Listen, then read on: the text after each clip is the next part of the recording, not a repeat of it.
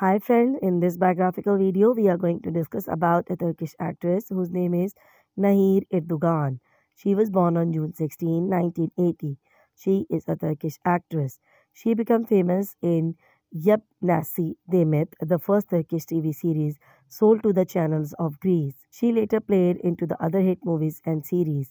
With Engin Altan, she played in crime series Sun and Youth series Kokum Benim. Sun was sold to USA, France, Spain, Russia, and Netherlands for adaptation. She played girl discussed by Habiman Sinafi Mehrbara.